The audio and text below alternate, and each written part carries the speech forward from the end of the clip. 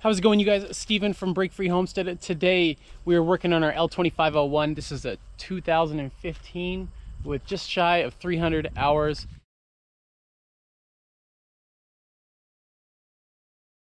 The hour meter has stopped counting and the RPM gauge does not work. So I believe it to be this. Uh, the part number is TC415-34650. I'll put that down in the description down below.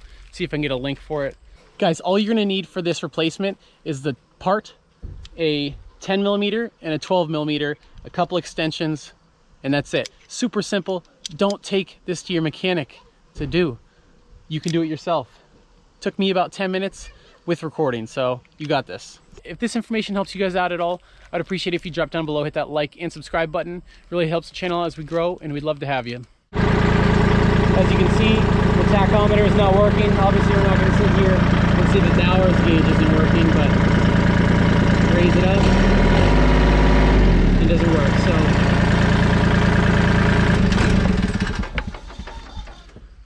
we just lifted our loader up, so we'll get it out of the way. We'll have access to the lower part of this. You could take it off, uh, but I think this is a much simpler option.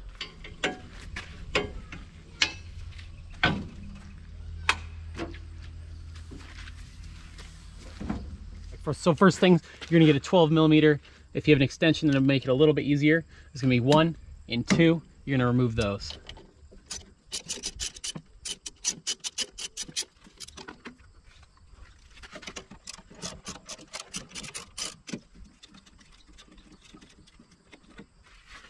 Now we're gonna take the guard off.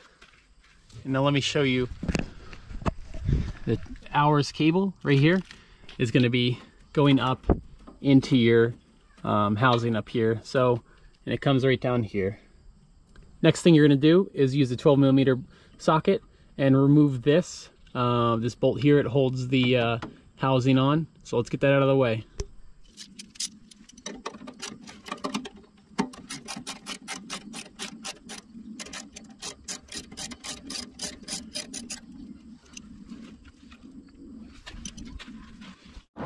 Now we're just gonna rotate around to the other side.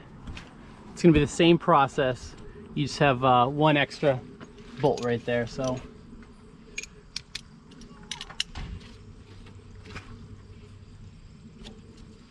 And that's gonna be under right here.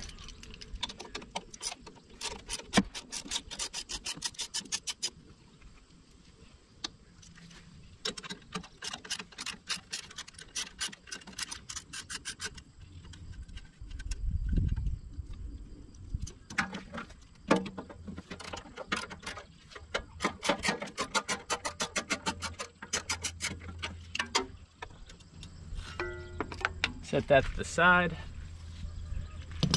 And then you have the second housing uh, for your steering wheel right there. Go ahead and get that off.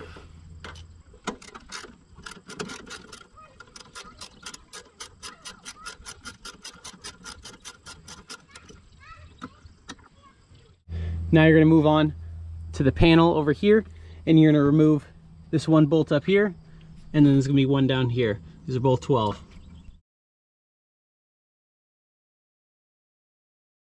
All right, now you can easily dislodge this, uh, pulls right back and you see there's one, two, and then there's three and four on the bottom. So you just have to manipulate this around.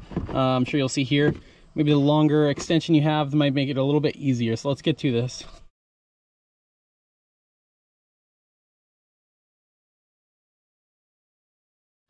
All right, for the bottom right, since you have the throttle lever here, it's kind of hard to uh, manipulate it.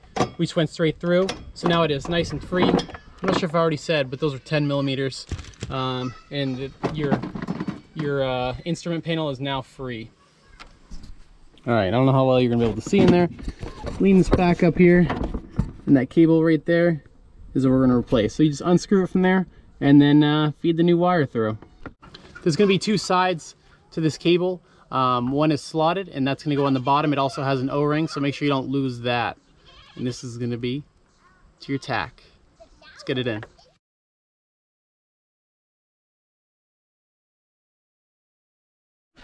So this is the old one and where it came down right here. And the new one is fed down this way. Follow it to the same direction. You're gonna come over here and it's gonna come through this little hole and then around these zip ties, I think most of these you can undo. If you don't have enough room, yeah, you can just loosen them if you don't have enough room. Slide the new one through or replace it with new zip ties. And then you're gonna come down here. Uh, you might be able to do it by hand or uh, use a plier to slightly loosen it. So let's get that done.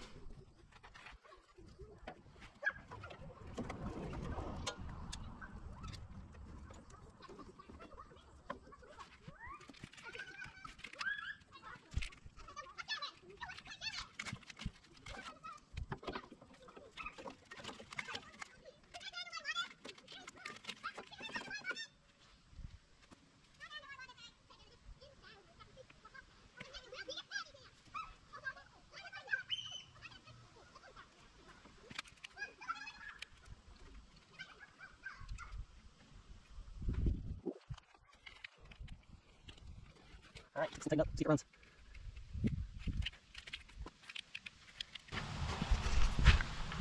I guess moment of truth. We'll see if this thing uh, fixed our issue. Look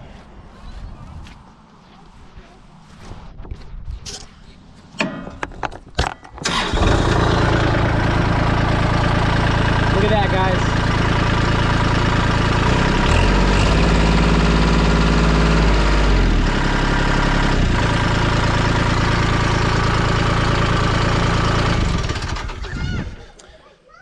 All right, that's it.